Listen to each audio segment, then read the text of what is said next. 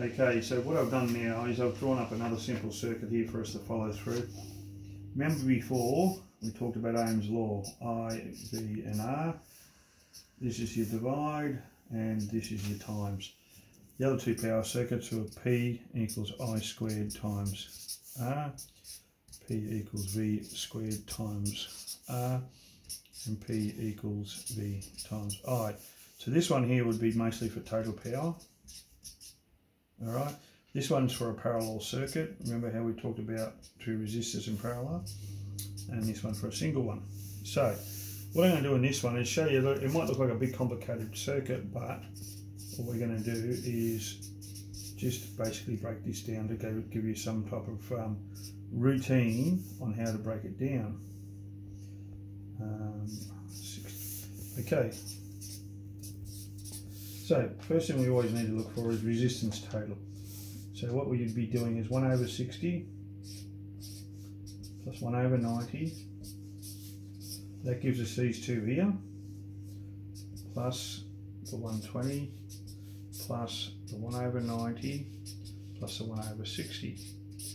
Now remember on our calculator, if we have a look at this calculator here, we have a little uh, icon on here that we talked about last time called X1. Now X1, like I said in the last video, shows us to put it over the value to give us a common denominator. So by using this, we can work out the common denominator between these two resistors. So if we have a look over here, we've got 60 and 90. So we need to find the common value between that one and this one first, work them out, and then we add everything up to get our resistance total. So first thing I'm going to do is I'm going to put 60, all right, and then do the X1. So I've got 1 over 60 now, plus 90 all right push the x1 push equals push x1 again and we get an answer of 36 so the first one's 36 now I'll do the second one 90 all right x1 plus 60 x1 equals push the answer equals and we get 36 all right same thing. Still works out the same because they're both the same.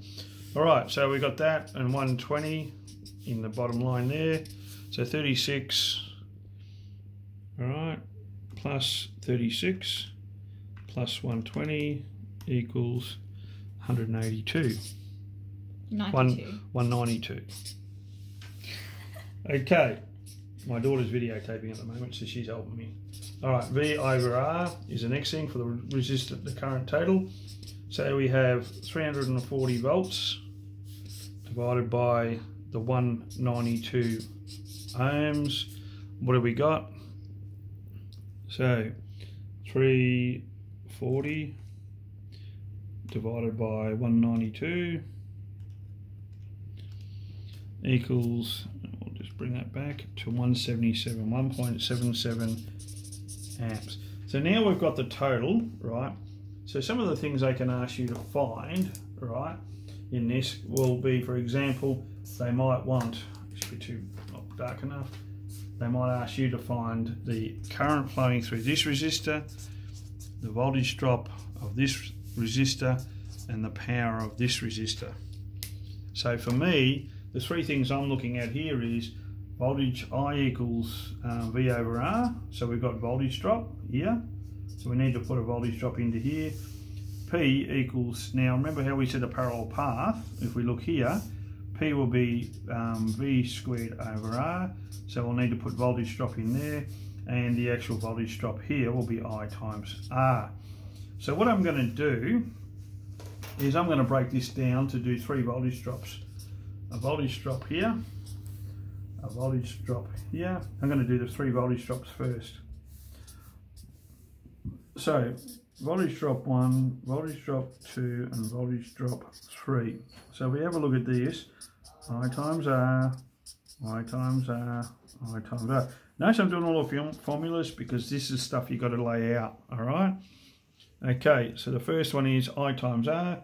We've got 1.77 times 36 why am I using 36 here? Because 36 is the current flowing through the one value here. But if I had to, if I look at it, it's a parallel path, I can't have the current flowing through the 60 and nothing thing because current is flowing through both resistors. Comes back to 1, comes back and splits again, so 36 will be here again. So that'll be the value there. Then I've got 1.77 times 120 and 1.77 times 36 again. So let's get our voltage drop for these three. So 1.77 times 36 equals 63.7. Then it'll be the same here. And the next one we got is 1.77 times 120 equals 212.4. So now I've got the three voltage drops. What I'm going to do is now work on I equals I, the voltage, the current through the 60 over here. So the current going through the 60 will be I equals V on R. So the voltage drop I'm going to use is 63 for the first resistor, first voltage drop. 63.7 volts divided by the resistor, which is 60. So I'm going to get something like 1 amp. So what I'm going to do here, we do 63.7 divided by 60 and we get a funny number which I've got to come back to do 1.06 so I knew it roughly because that going in there is going to go 1 point something so 1 point something amps. Okay so that is the answer for that one. Now the second one we've already done because we did the voltage drop for the second one. That's done.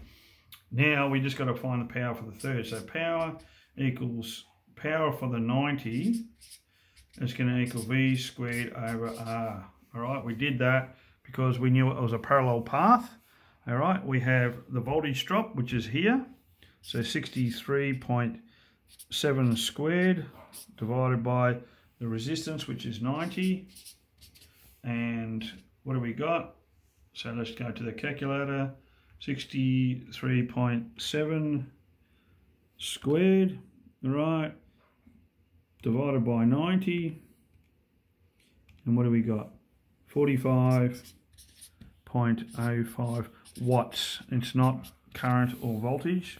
So this one here is what we get for the third one. So there you go. So just to step back from what we did, what I did first, I went and did all my voltage drop. I did my, sorry, my resistance total, did that first. I got 192.